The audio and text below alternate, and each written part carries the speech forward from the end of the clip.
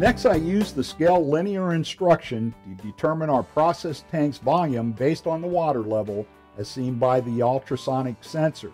I also use scaling to create a variable that will allow us to display the diaphragm pump's output rate in gallons per minute on our C-more touch panel.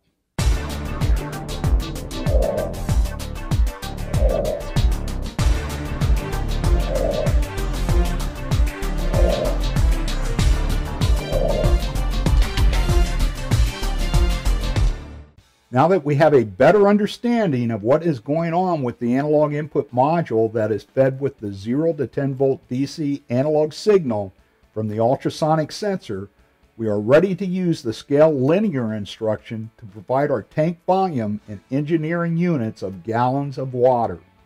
But first we need to assign a tag name to the first channel AIS32-0.1.3.1 on our P3-04ADS analog input module to which we have our ultrasonic sensor wired.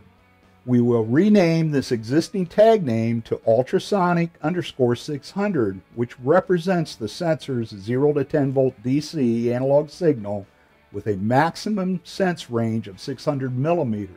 Although in our application we have converted this maximum range value to 23.62 inches because we are working in English measurements. As seen here, the hardware configuration tool is used to edit the existing tag name that is automatically assigned to the analog input. Next, drag and drop the scale linear instruction into the next available end coil position on the ladder logic. In our case, this looks to be rung number 4. The scale linear instruction dialog window will open. Let's insert the new tag name, ultrasonic underscore 600, into the scale instructions input parameter. It will produce a count range of 0 to 65,535. So for the minimum input parameter called in min, we can enter a 0. For the maximum input parameter called in max, we can enter the value 65,535.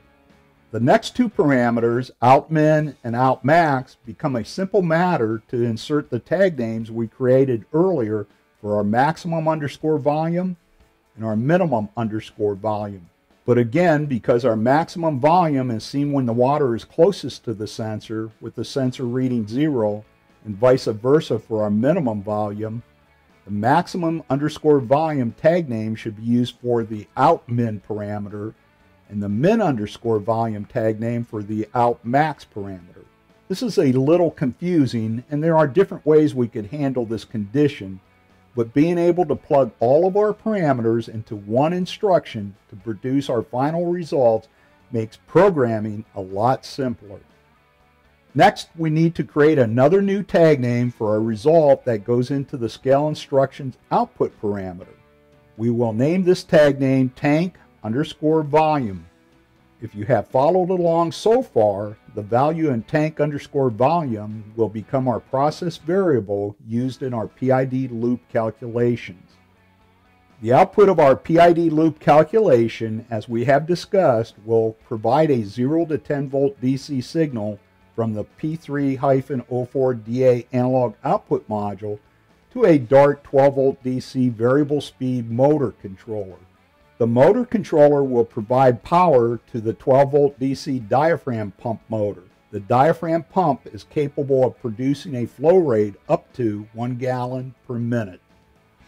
The analog output module uses a 32-bit integer value with a range of 0 to 65,535 to produce the 0 to 10 volt DC signal. As seen in the PID loop instruction that follows, we will use the PID's process output directly to control the pump rate. This will give us the maximum resolution without the need to scale. We will actually create a tag name called pump underscore speed that is used as the PID loop's process output that directly controls the analog output module's channel 1 which is wired directly to the DART DC motor controller's 0 to 10 volt DC analog input. Again, using the hardware configuration tool, create a tag name for the P3-04DA analog output module's first channel AOS 32 0.1.4.1 and rename it as pump underscore speed. This tag name will be used in our PID loop instruction and represents the calculated rate the pump needs to operate to maintain the water level in the process tank. The rate will be somewhere between 0 and 1 gallon per minute. Jumping a little ahead of ourselves in the program, it would be nice to have our C-more touch panel display the actual diaphragm pump rate in gallons per minute. This is another easy task that makes use of our scale linear instruction. Our goal is to create a value of 0 to 1000 based on the pump speed value of 0 to 65,535 at any given instant.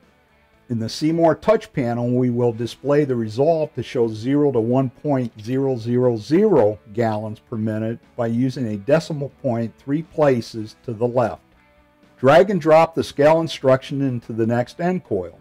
Next, select the tag name pump underscore speed in the scale instructions input parameter. For the in min parameter, we will enter 0 and the in max will be 65,535. To produce the 0 to 1000 value to display on the C-more, enter 0 for the out min parameter and 1000 for the out max. Enter C-more underscore PID underscore output in the output parameter, then click OK. The Define Tags dialog box will come up in the programming software. I have assigned C-more underscore PID underscore output as an integer 16-bit data type.